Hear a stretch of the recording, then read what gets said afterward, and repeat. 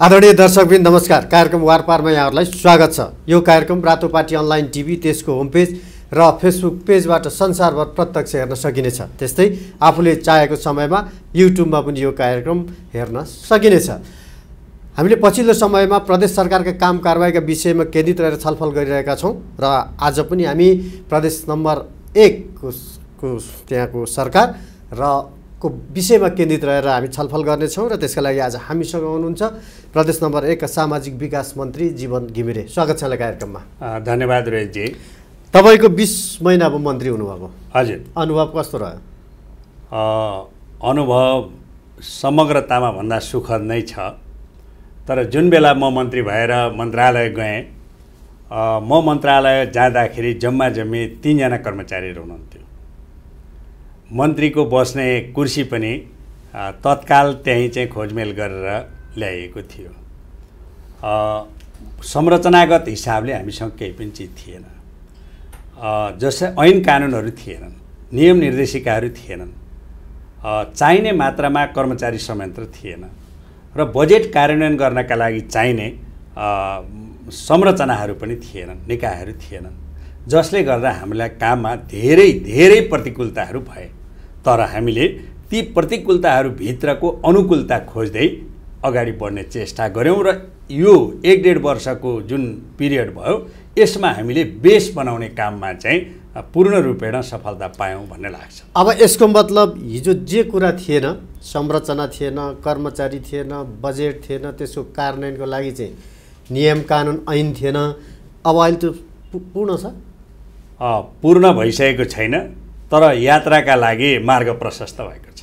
ए अब भनेको के राजमार्गै बनौ कि गोरेटो चाहिँ खोज्नु? अब पनि हामीलाई हिँड्नका लागि बाटो छैन ऐन कानुन छैन कर्मचारी छैन भनेर पुरानै गीत गाएर बस्ने छुट अब हामीलाई छैन। तर प्रदेश सरकारको म तपाईँ तब धेरैवटा मन्त्रालय छ तपाईँसँग चाहिँ सामाजिक विकास मन्त्रालय एउटा नाम भने पनि त्यसमा चाहिँ तपाईँसँग कतिवटा मन्त्रालय छ तपाईँ? सङ्घीय? सरकारका सातवटा मन्त्रालयको कार्यभार सामाजिक विकास मन्त्रालयको कार्यक्षेत्रभित्र पर्छ। सातवटा मन्त्रालयको मन्त्री हुनुहुन्छ। हजुर। कामको हिसाबले त दायरा त धेरै फराकिलो छ। हो सङ्घमा भएका हिजो भएका पचि अ, सङ्घका पच्चिसवटा मन्त्रालयको कार्यभार प्रदेशमा सातवटा मन्त्रालयमा सीमित गरिएको छ। त्यसो हुँदा हरेक मन्त्रालयको कार्यभार चाहिँ बढी नै देखिन्छ। अब पहिला चाहिँ पुरा सम्पूर्ण रूपमा प्रदेश सरकारको कुरा गर। हजुर। प्रदेश सरकार प्रदेश नम्बर एक भनौँ। एक नम्बर प्रदेश सरकारले चाहिँ गति लिन सकेन भन्ने आरोप छ। यो आरोपभित्र केही सत्यता पनि होला तर यसभित्रका बाध्यताहरू पनि बुझिदिनुपर्छ। जुन बाध्यता अहिले मैले भनिसकेँ हाम्रो केन्द्रीय तहको शासन प्रणालीको अभ्यास हिजैदेखि थियो र स्थानीय तहको शासन प्रणालीको अभ्यास पनि हिजैदेखि थियो। र ती केही न कुनै न कुनै आकार प्रकारमा संरचनाहरू पनि हिजैदेखि थिए। त्यसो भएको हुनाले सङ्घीय सरकारलाई केही असजिलो त छ तर पनि हिजोका केही आधारहरू भएको हुनाले त्यहाँ टेकेर अगाडि बढ्न सङ्घीय सरकार सकेको छ। भने स्थानीय तहलाई पनि हिजोको बेस भएको कारणले उनीहरूलाई अगाडि बढ्नलाई एउटा आधार छ। तर प्रदेश चाहिँ नितान्त नयाँ भएको कारणले प्रदेशको चाहिँ इतिश्री सबै कुरा नयाँ सिर्जना गर्नुपर्ने भएको हुनाले यसभित्र प्र प्रतिकूलताहरू हुने कुरा एकदम स्वाभाविक हो। र त्यो हामीलाई मूल्याङ्कन गरिरहँदा कहाँबाट हेर्नु पऱ्यो भने यात्रा कहाँबाट सुरु भयो? भन्ने कुराबाट यदि हेरिदिने र मूल्याङ्कन गर्ने हो भने असन्तोष गर्नुपर्ने अवस्था छ जस्तो मलाई लाग्छ। तर जनताले त परिणाम खोज्दै हो नि त। हो जनतालाई हामीले बुझाउन सकेका छैनौँ बुझाउनु पर्छ। जनतालाई सङ्घीयता भनेकै प्रदेशको संरचना हो। सङ्घीयताको कार्यान्वयन गर्ने नयाँ इकाइ भनेकै प्रदेश हो। जुन चिज हिजो थिएन। त्यसो भएको हुनाले हामीले सङ्घ प्रदेश मार्फत प्रदेश सरकार मार्फत जनतालाई सरकार भएको प्रदेश सरकार भएको अनुभूति दिलाउन सक्यौँ भने सङ्घीयताप्रतिको विश्वास बढेर जान्छ। यदि त्यो काम गर्न सकेनौँ भने सङ्घीयताको औचित्यतामाथि प्रश्न उठ्छ त्यसो भएको हुनाले यो कुराप्रति हामी एकदम सचेत हौँ र सचेतनतापूर्वक अगाडि बढिरहेका छौँ प्रदेश सरकार भनेको मूलत अहिले हाम्रो नयाँ संरचना भनेको मुलुक सङ्घीयतामा गएपछिको पहिलो एउटा संरचना हो। मुख्य संरचना।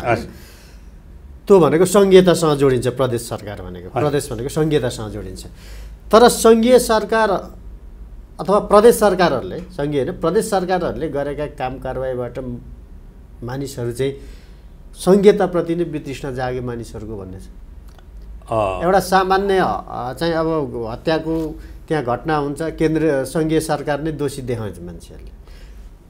अनेक तपाईँको राहतका कुराहरू गर्ने भने सबै अहिले पनि सङ्घीय सरकारसँगै मानिसहरूले आश गरिरहेको हुन्छ त्यहाँको जनताले। भनेपछि प्रदेश सरकारले विश्वास दिलाउन सकेन जनताको मन होइन। जित्न सकेन। अहिले पनि हाम्रो मानसिकता हाम्रो प्रणाली फेरियो तर मानसिक रूपले हामी नेता नेतृत्व पनि फेरिन सकेका छैनौँ भने जनता त फेरिने कुरै भएन। त्यसो भएको हुनाले अहिले पनि काठमाडौँप्रतिको सिंहदरबारप्रतिको हेराइ हिजो जे थियो आज पनि त्यही छ। जनताको। त- जनताको। अनि हिजोको अपेक्षा जे थियो आज पनि त्यही छ। अब पाइन्छ गाविसमा मान्छे दौडेर आउँछ काठमाडौँ सिंहदरबारमा। अहिले पनि यो हालत छ। त्यसो भएको हुनाले यसलाई बुझ्ने बुझाउने र व्यवहारमा रूपान्तरित गर्नका लागि केही समय लाग्छ स्वाभाविक छ। तर मलाई के लाग्छ भने संसारका संहिताका अभ्यासहरू हेर्दा र अरूतिरका इतिहासहरू पढ्दा त्यो अनुपातमा हामी त डेढ वर्षको पिरियडमा धेरै धेरै धेरै सफलताहरू आर्जन गरेका छौँ र अब देश चाहिँ सङ्घीय संरचनातर्फ उन्मुख भएको छ र त्यसले जनतालाई चाहिँ जनताका अपेक्षाहरू पुरा गर्ने दिशातर्फ मुलुक अगाडि बढेको छ भन्ने अनुभूति मलाई भइरहेको छ। एउटा सामान्य बिस महिना भयो सरकार गठन भएको होइन तपाईँहरूले प्रदेशकै नाम राख्न सक्नु भएको छ।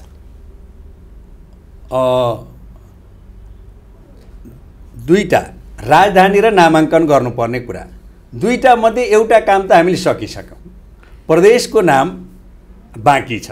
राजधानी हामीले एक नम्बर प्रदेशको राजधानी विराटनगर घोषणा गऱ्यौँ वृहत विराटनगर के? विराटनगर राजधानी घोषणा गर्नका लागि अनेक प्रतिकूलताहरू थिए। तर हामीले ती प्रतिकूलताहरूलाई यसरी अनुकूलतामा बदल्यौँ कि हरेक प्रदेश सभा सदस्यहरूको भोट एकै ठाउँमा खसाउन सफल भयौँ र हामीले एक नम्बर प्रदेशको शत प्रतिशत सभासदहरूको समर्थन अर्थात् सिँगै एक नम्बर प्रदेशवासीहरूको समर्थन विराटनगर राजधानी बनाउने काममा हामीले जुटायौँ।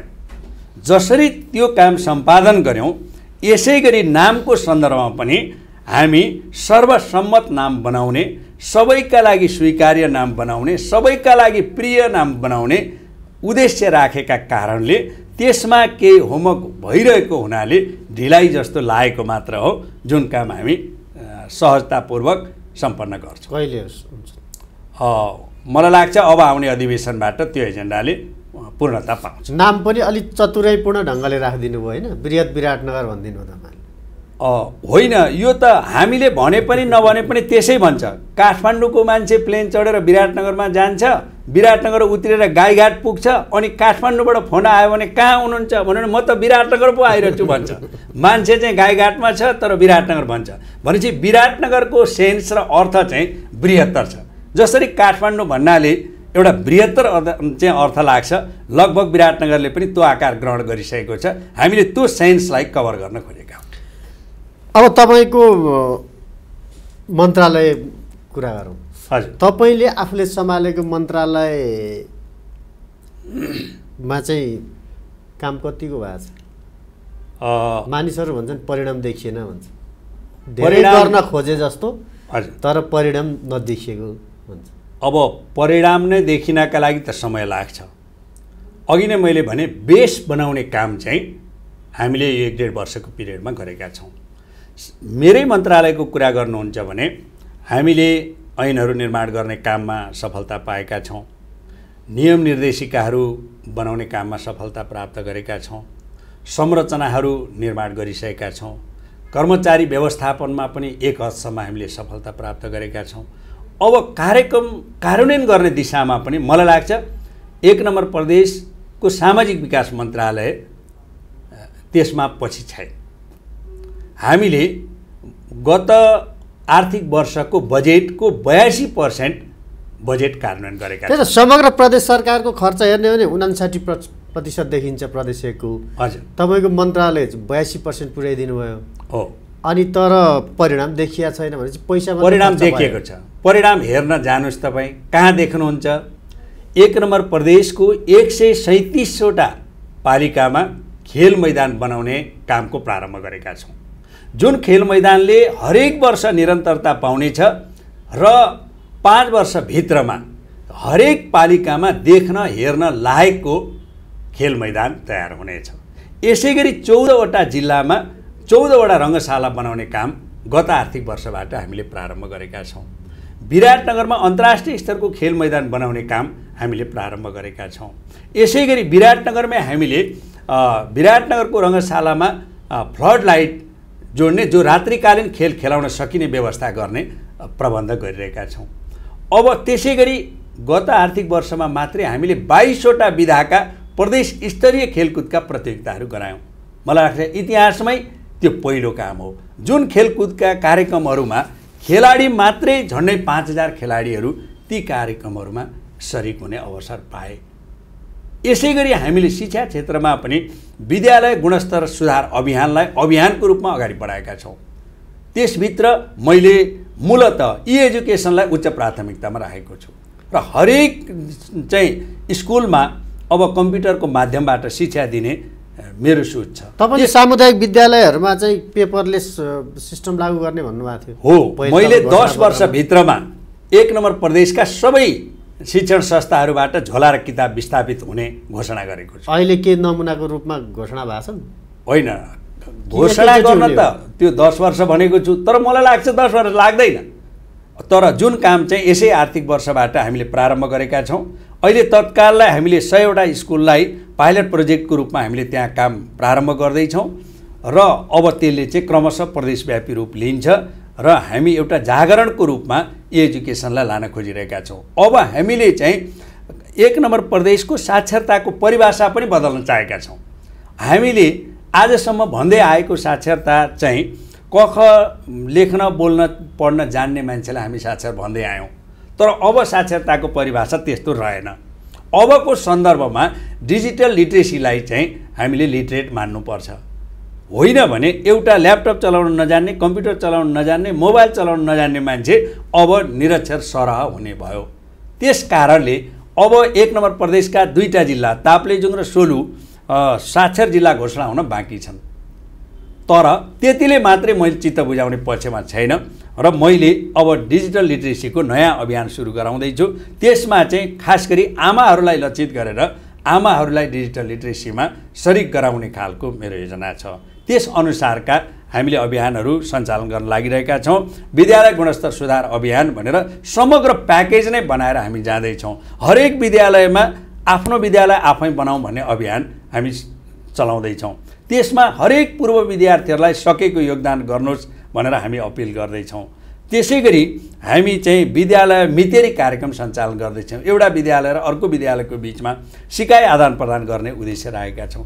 यसरी समग्रतामा भन्दा विद्यालयको गुणस्तर सुधारलाई हामीले हाम्रो कार्यकालको चुनौतीको रूपमा स्वीकार गरेका छौँ र त्यस अनुरूप नै हामी अगाडि बढ्न चाहिरहेका छौँ। अर्को महत्त्वपूर्ण मन्त्रालय तपाईँ युवा तथा रोजगार मन्त्रालय नि पर्छ। हो श्रम रोजगारको सन्दर्भमा पनि हामीले गत आर्थिक वर्षमा मात्रै हामीले चाहिँ मन्त्रालयको तर्फबाट मात्रै हामीले एक हजारजना बेरोजगार जनशक्तिलाई तालिम दिएका छौँ। हामीले मैले एकदम हरेक तालिम प्रदायक संस्थाहरूलाई के कुराको वचनबद्धता गराएको छु भने तालिमका लागि तालिम होइन सर्टिफिकेटका लागि तालिम होइन भत्ता र भातका लागि तालिम होइन। तालिम रोजगारी या स्वरोजगारीको सुनिश्चितताका लागि तालिम भन्ने मान्यताबाट मैले गत वर्ष पनि तालिम सञ्चालन गरेको छु। तर समयको चटार र हतारको कारणले मैले अपेक्षा गरेअनुसारको परिणाम आयो आएन मूल्याङ्कन गर्न बाँकी छ। तर अब आउने वर्षमा मैले एक नम्बर प्रदेशको तालिम शीर्षकको सिप विकासका तालिमहरू सिटिबिटीबाट सञ्चालन हुने होस् या मन्त्रालयबाट सञ्चालन हुने तालिम होस् त्यस्ता कार्यक्रमहरूलाई परिणाममूलक बनाउने गरी मैले कार्ययोजना बनाएको छु। अब तालिम दिने संस्थाले पुरै शत प्रतिशत पैसा पहिले पाउने छैन। पेस्की बापत केही रकम अग्रिम दिइनेछ। तालिम दिएको निश्चित समयभित्र उसले ती तालिम दिएका व्यक्तिहरू चाहिँ स्वरोजगार भएको या रोजगारीमा गएको सुनिश्चितता प्रदान गर्नुपर्छ। त्यसमाथि पछि मात्रै उसको फुल पेमेन्ट हुनेछ। त्यो किसिम होइन भने बरु पैसा फ्रिजमै जाओस्। सरकारको खातामा भएको पैसा सरकारी नै रहन्छ। तर यो बालुवामा पानी हाल्ने जुन विगतको परम्परा छ यो ट्रेनिङका नाममा हुने जुन अनियमितता छ यो कुरालाई अब मैले चाहिँ सहन गर्ने छैन। त्यसलाई पूर्ण रूपेण नियन्त्रण गर्ने गरी मैले कार्ययोजना तर्जुमा गरिरहेको अर्को महिला बालबालिका समाज कल्याण पनि पर्छ हो महिला बालबालिका पनि? पर्छ। त्यसभित्र मैले चाहिँ एकल महिलाहरू एक नम्बर प्रदेशभित्रका एकल महिलाहरूलाई सङ्गठित गरेर उहाँहरूलाई व्यवसायमा मैले लगाइरहेको छु। र मैले मोरङको ग्रामथानमा एकल महिलाहरूको समूह बनाएर त्यहाँ चाहिँ यो बुटिकको ट्रेनिङ गराइरहेको छु। र बुटिकको ट्रेनिङ सकिएको छ। अब उहाँहरू रोजगारीको प्रवर्धनमा लाग्नुभएको छ। रोजगारी प्रवर्धन गर्नका लागि प्रदेश सरकारको तर्फबाट दस लाख रुपियाँको सपोर्ट गरिएको छ। सिड मनी दिएको छ। अब स्थानीय पालिकाले पाँच लाख दिन्छ। उहाँहरू स्वयंले पाँच लाख निकाल्नुहुन्छ। बिस लाखको डालो तयार गरेर हामीले रोजगारीको चाहिँ काममा उहाँहरूलाई लगाउँदैछौँ। मोरङमा बुटिककोमा एकल महिलाहरू लागिराख्नु भएको छ। झापाको एकल महिलाहरू मौरी पालनमा लाग्नु भएको छ। इलामको एकल महिलाहरू चाहिँ यो जडीबुटी खेतीमा लाग्नु भएको छ। त्यसै गरी तेह्रथुमको महिलाहरू ढाकाको चाहिँ उद्योगमा लाग्नु भएको छ। सङ्खुवा सभाका महिलाहरू चाहिँ यो अल्लोको प्रोडक्टमा लाग्नु भएको छ। एवं रीतले आफ्नो विशेषतामा आधारित भएर उद्यमी बन्ने गरी महिलाहरू काम गरिराख्नु भएको छ जुन कामको सुरुवात प्रदेश सरकारको तर्फबाट मैले गराइरहेको छु। अब तपाईँले चाहिँ प्रोग्रामहरू कार्यक्रमहरू चाहिँ सानो हुने त्यसमा अलि ठुलो पैसा हालिदिनुहुन्छ भन्ने आरोप छ तपाईँलाई? त्यस्तो होइन। कार्यक्रमको स्वरूप हेरेर चाहिँ बजेट जान्छ अनि अर्को कुरा मैले के कुरामा सुनिश्चितता गर्ने कोसिस गरेको छु भने हाम्रो वितरण प्रणालीलाई पनि सकेसम्म समानुपातिक न्यायिक गर्ने मैले कोसिस गरेको छु। र मेरो वितरण प्रणाली चाहिँ नियमसँग छ। अब फाइल बोकेर यो चिज देऊ त्यो चिज देऊ फलानाको सोर्स लिएर आऊ भन्ने कुरा भन्दा पनि मैले चाहिँ एउटा विधिबाट सिस्टमबाट परियोजनाहरू प्रोजेक्टहरू पठाउने नीति अवलम्बन गरेको छु। त्यसअनुसार एक पालिका यति कार्यक्रम यो कार्यक्रम। एक निर्वाचन क्षेत्र यो कार्यक्रम। एक जिल्ला यो कार्यक्रम। एक प्रदेश यो कार्यक्रम। यो मोडालिटीबाट मैले एक नम्बर प्रदेशका सबै निर्वाचन क्षेत्र सबै गाउँपालिका पुग्ने गरी कार्यक्रमलाई न्यायोचित वितरण गर्ने प्रणाली अवलम्बन गरेको छु। त्यसो भएको हुनाले होच निच घटी बढी भन्ने प्रश्न आउँदैन अब तपाईँले कार्यक्रमहरू लिएर आउनुहुन्छ त्यसमा चाहिँ त्यो कार्यक्रमको लागि चा- चाहिने बजेट भयो अब त्यसको परिणाम कति निस्केला त्यसको खर्च कति होला ला लागतदेखि सबै कुराहरूलाई चाहिँ त्यो स्वाभाविक होला तपाईँले त सबै अध्ययन गरिसकेपछि अनि पैसा दिने। तर तपाईँले चाहिँ त्यही अध्ययन गर्नमै समितिहरू सबै विषय समितिहरू बनाइदिनुहुन्छ अनि समितिमै बढी पैसा खर्च हुन्छ। जुन समिति नै बनाउनु नपर्नेमा पनि तपाईँ समिति बनाएर के बुझ्नु पऱ्यो भने पहिलो वर्ष। त शुभ लाभ समिति जस्तो भयो पहिलो वर्ष हामीले समिति नै बनाउने हो अध्ययन नै गर्ने हो।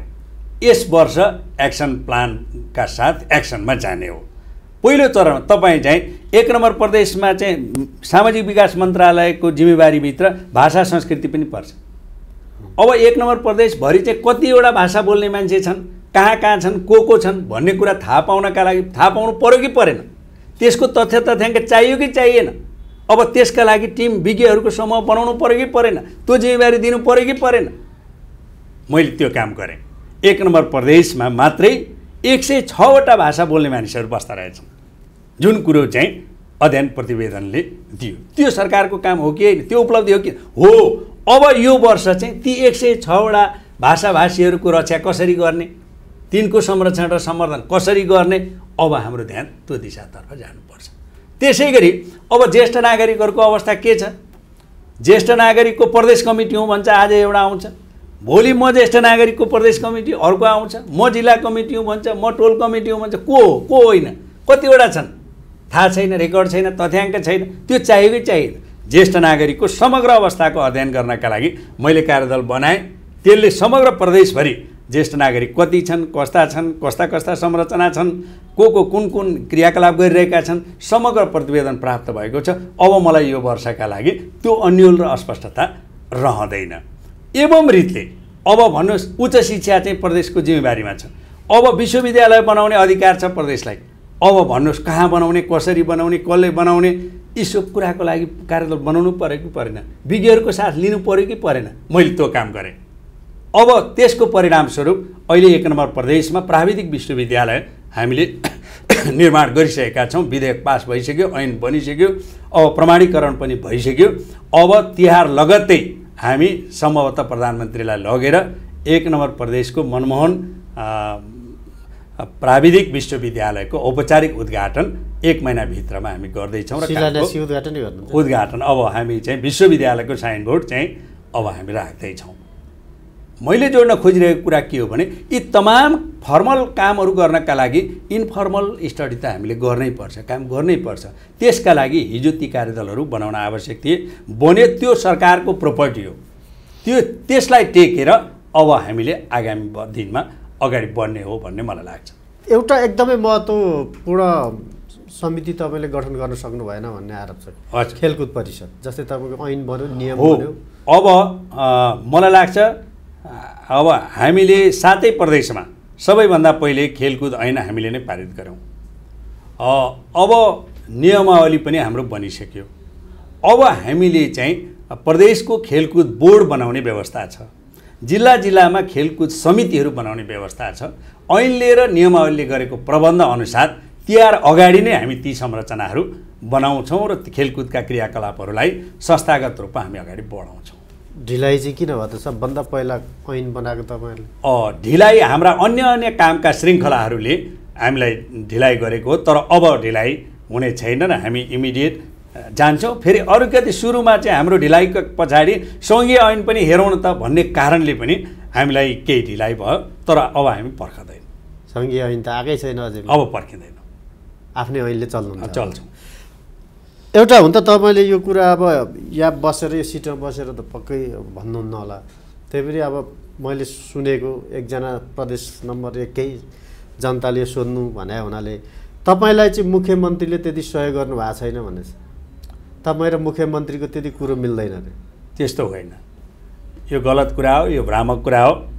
एक नम्बर प्रदेशभित्र जम्मा जम्मी पाँचजना सातजनाको मन्त्रीमण्डल बनाउने व्यवस्था छ।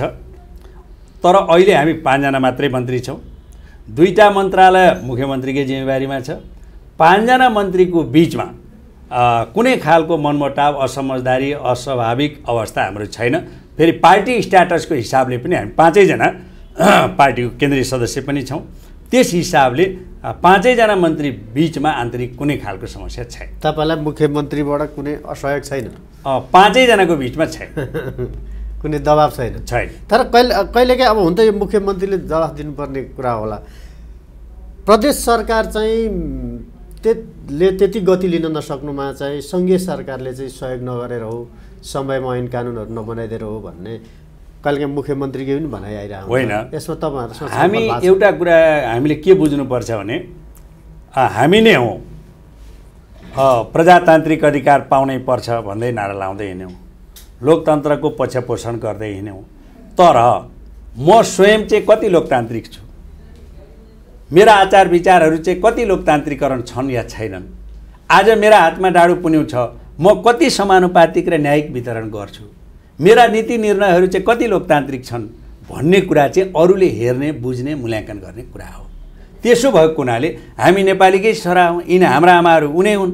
त्यसो भएको हुनाले कुनै आकाशबाट आएका चाहिँ नयाँ चाहिँ जन्म कसैले लिएका छैनौँ यही समाजका उपजौँ। त्यसो भएको हुनाले हिजोको सामन्तवादी एकीकृत शासन प्रणालीका प्रभावहरू चाहिँ हाम्रो मन मस्तिष्कका अंशहरूमा अहिले पनि मात्रा त कुरोमा घटी बढी होला तर हामी सबैसँग छ। केपी ओलीमा देखियो त्यो होइन प्रश्न? त्यो मैले भने सबैसँग छ। मात्रामा घटी बढी होला तर हामी सबैसँग छ।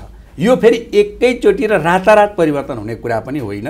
यो पुस्तौँ पुस्ताबाट आएको चिज एकैचोटि निधान पनि हुँदैन। तर अब प्रणालीले आत्मसात गरिसकेपछि अब क्रमशः हामी सबैले रूपान्तरित भएर जानुपर्छ। संविधानले गरेको प्रबन्धलाई कसैले काट्न सक्दैन। संविधानले दिएका अधिकारको सीमाभित्र रहेर तिनै तहले आफ्नो अधिकारको खोजी पनि गर्नुपर्छ र अधिकार दिएन दिएन भनेर न्याय गरिरहने भन्दा पनि आफूले कामबाट भूमिकाबाट अधिकार स्थापित गरेर जानुपर्छ भन्ने लाग्छ। अहिले धेरै मानिसहरूले भन्ने गरेको सुनिन्छ कि जुन सङ्घीय सरकार छ केन्द्रीय सरकार भनौँ त्यसपछि स्थानीय तह छ। प्रदेश सरकार चाहिँ आवश्यक रहेनछ भन्ने मानिसहरूको चर्चा छ नि तपाईँले सुन्नु त्यस्तो होइन। प्रदेश सरकार आवश्यक रहेछ भन्ने कुरा चाहिँ अहिले कस्तो देखिन्छ भने तपाईँ सिंहदरबार जानुहोस् घन्च मञ्च छैन। मन्त्रीहरूका कार्यकक्षमा जानुहोस् हिजोको जस्तो भिडभडाका छैन। तर प्रदेशका मन्त्रालयमा जानुहोस् त्यहाँ लाइन पाउनु लाइनबद्ध मान्छेहरू बसेका हुन्छन् सारा मागका चाङका चाङ लागेका हुन्छन्। प्रदेश सरकारको क्षमता कति छ उसले के गर्न सक्छ त्यो आफ्नो ठाउँमा छ। तर जनताको अपेक्षा चाहिँ प्रदेशसँग ज्यादा छ। किन पहुँच पनि भयो निकट पनि भयो जान आउन पनि सजिलो भयो अनि मन्त्री मान्यहरूसँग डाइरेक्ट एक्सेस पनि जनताको भयो त्यसो भएको हुनाले अहिले हिजो काठमाडौँमा सिंहदरबारमा हुने भिडभडाका अहिले सबै प्रदेशमा केन्द्रित भएको छ। त्यसबाट के अनुभूति हुन्छ भने प्रदेश सरकारको औचित्य त्यहाँबाट पुष्टि हुन्छ। तपाईँले अघि जे आफ्नो मन्त्रालयको बारेमा जुन संक्षिप्त कुरा। भन्नुभयो तर त्यसमा खासै नयाँ कार्यक्रमहरू त देखिएन अलिक आकर्षक खालको जनतालाई आकर्षित गर्ने खालको कार्यक्रम त देखिएन। केही छ नयाँ? होइन। आकर्षित गर्ने कुरा ज्येष्ठ नागरिकको हकमा धेरै कामको श्रृङ्खला छ मसँग। अहिले सबै कुरा सविस्तार भन्ने समय नपुग्ला। जस्तै ज्येष्ठ नागरिक दन्त मुस्कान कार्यक्रम गत आर्थिक वर्षमा मैले राखेँ। खोटाङको रावा बेसी गाउँपालिकामा मैले त्यो कार्यक्रम पाइलट प्रोजेक्टको रूपमा सञ्चालन गराएँ। र त्यो रावाबेसी गाउँपालिकाका सबै ज्येष्ठ नागरिकहरू दाँत नहुने सबै ज्येष्ठ नागरिकहरूलाई आह्वान गरियो। सबैजना एक ठाउँमा भेला हुनुभयो। तिन चार दिन लगाएर त्यहाँका पाँच सयभन्दा बढी ज्येष्ठ नागरिकहरू जो हाँस्न सक्नुहुन्न थियो उहाँहरूलाई दाँत लगाउने र हाँस्ने अवसर हामीले प्रदान प्रदेश सरकारले दाँत हालिदियो? हाल्थ्यौँ ज्येष्ठ नागरिक हजुर। अब यो वर्ष पनि हाम्रो त्यो कार्यक्रम निरन्तर छ। र ज्येष्ठ नागरिकका पक्षमा हामीले ज्येष्ठ नागरिक ग्राम बनाउने तयारी गरिरहेका छौँ। हामीले एघार बिघा जमिन चाहिँ मोरङको हात्ती ए मोरङको ग्राम थानमा खरिद गरिसकेका छौँ। यो वर्षबाट काम प्रारम्भ हुन्छ। हरेक जिल्लामा ज्येष्ठ नागरिकका चाहिँ आश्रमहरूका लागि हामीले सहयोग गरेका छौँ। आर्थिकदेखि लिएर सञ्चालन खर्च भौतिक व्यवस्थापनमा हामीले सहयोग गरेका छौँ। अब चाहिँ महिलाहरूका पक्षमा पनि हामीले काम गरेका छौँ। भने हरेक वर्ग तहका पक्षमा हामीले काम गरेका छौँ। शिक्षा खास गरी उच्च शिक्षामा अघि नै मैले भने अब प्रदेश सरकारले आफ्नो अथोरिटीभित्र रहेर उच्च शिक्षा र प्राविधिक शिक्षालाई एकदम प्राथमिकतामा राखेर अगाडि बढ्न चाहेको छ। मनमोहन विश्वविद्यालय हामीले स्थापना गऱ्यौँ अब त्यसको माध्यमबाट एक नम्बर प्रदेशलाई चाहिने जनशक्ति हामी उत्पादन गरेर जान्छौँ।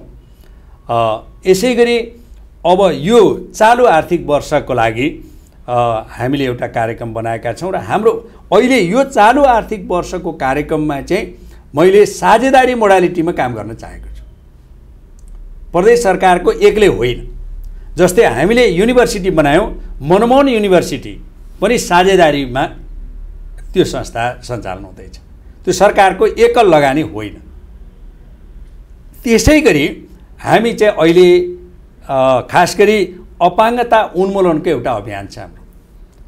अपाङ्ग आज अपाङ्ग भएकाहरूलाई हामीले चाहिँ उद्धार गर्ने पुनस्थापना गर्ने एउटा अभियान छ भने अर्को चाहिँ अब उपरान्त अपाङ्गता भएका व्यक्तिहरू जन्म नै नदिने सङ्कल्पका साथ हामी काम गरिरहेका छौँ। अब चार वर्षदेखि उता गएर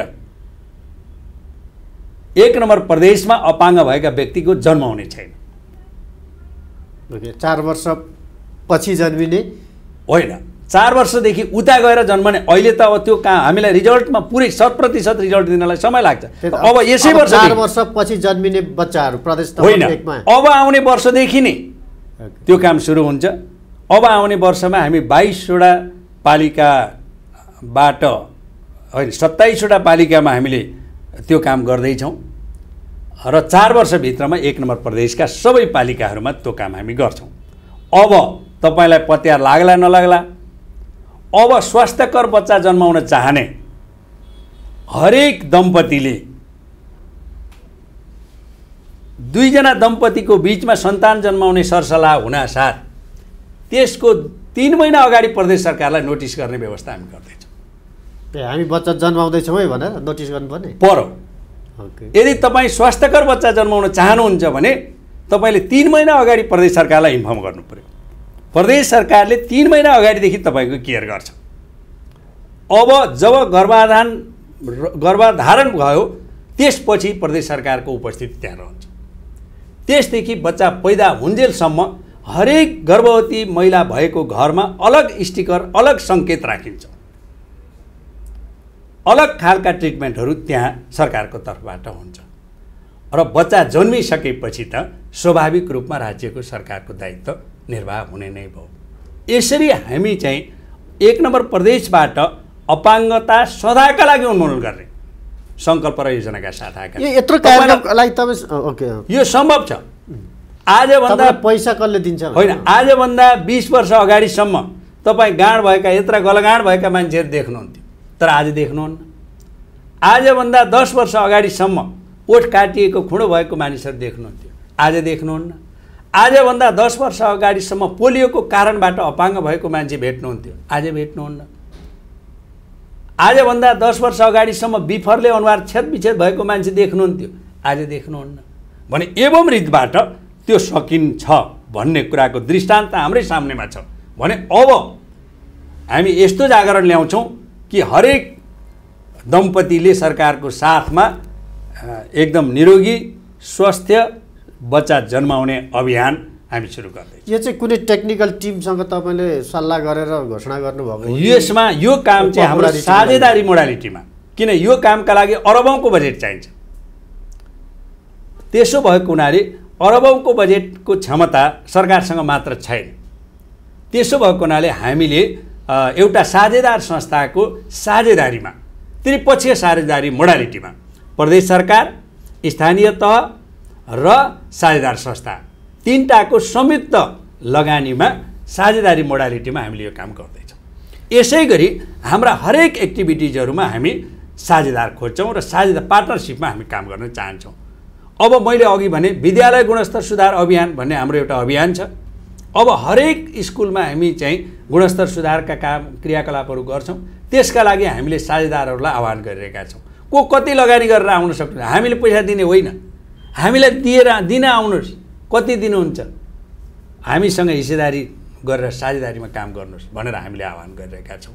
अर्थात् साझेदारी मोडालिटीलाई हामीले उच्च प्राथमिकतामा राखेका छौँ। यसै वर्षमाथि मात्रै तिन लाख विद्यार्थीहरूको आँखा परीक्षण गर्ने योजना छ। एक नम्बर प्रदेशका तिन लाख विद्यार्थीहरूलाई आँखा परीक्षण गर्ने र चस्मा लगाइदिने योजना छ। त्यो काम पनि हामीले साझेदारका साथबाटै हामी गर्दैछौँ। त्यसै गरी मैले अघि भने यो वर्ष पनि हामी ज्येष्ठ नागरिक दन्त मुस्कान कार्यक्रम फेरि पनि यो गर- गर्दै विस्तार गर्दै। धेरै कार्यक्रमहरूको रिजल्ट चाहिँ अर्को वर्ष हेर्न पाइन्छ त्यसो भए होइन? तपाईँले निश्चय डाटासहित भन्न निश्चय नै। अर्को गत सबैभन्दा एकदमै असुरक्षित पद भनेकै मन्त्री भन्छन्? त्यो कुराप्रति म सचेत छु। र मैले एकदम स्वाभाविक पनि लिएको छु। अहिले म तपाईँसँग बोलिरहेको छु। म बाहिर चाहिँ निस्किँदाखेरि मेरो पुलिस मेरो सुरक्षाकर्मीले नहुन गाडीको झन्डा बोकेर चाहिँ ल है सर म त बिदा भएँ भनेर हिँड्न पनि सक्छ। मुख्यमन्त्री कार्यालयको एकल टेलिफोन आयो भने बाटैबाट मेरो चाहिँ झन्डा र डन्डा खोसिन सक्छ। खतरा कतिको छ त्यो कुराप्रति म सचेत छु। र राजनीतिमा यो स्वाभाविक कुरा हो। त्यो कुनै पनि बेला मन्त्री पद भनेको स्थायी कुरा होइन।